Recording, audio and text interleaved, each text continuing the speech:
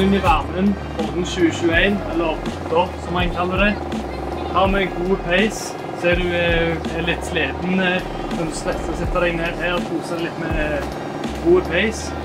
Her har vi utrolig mye fokus på detaljer, så her har vi håndlagte våpen fra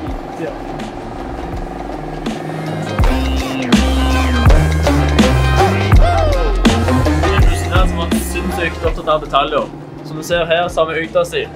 Verdenstre i norrøn. Viktig tid for uh. Og som du ser her, så er det skikkelig trevegger. Med skikkelige treelementer.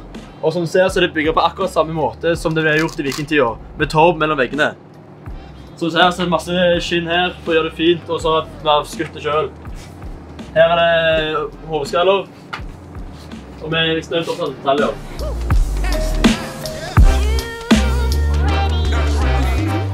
Som du ser her, så er det kjettinger som er laget i vikingtida. Der er det ca. 3000 små sirkler som én mann har gjort alene og smidd sammen. Der hele taket her veier ca. 300 kg med bare stål.